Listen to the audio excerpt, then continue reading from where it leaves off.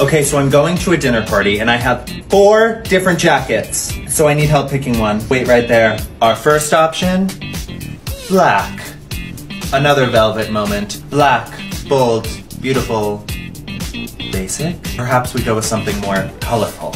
We have rusty, trusty, lusty, not musty. I think I like it a lot. Again, another velvet moment. But I, I'm going for some, I, for some reason I feel like I want something that's more rich in flavor, if you will. Purple. Purple, playful, lush. I do love a purple. In fact, purple very frequently goes with my skin tone. But I feel like there's one more that could really take me over the edge. It's the color of the moment. It feels like the time, it feels like the day, it feels like the year, and that is green.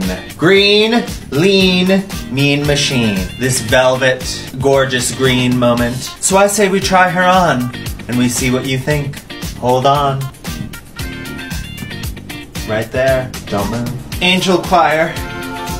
Do you hear that? Green, lean, mean machine. I will be the best dressed. This is a velvet tuxedo, velvet green matching bow tie.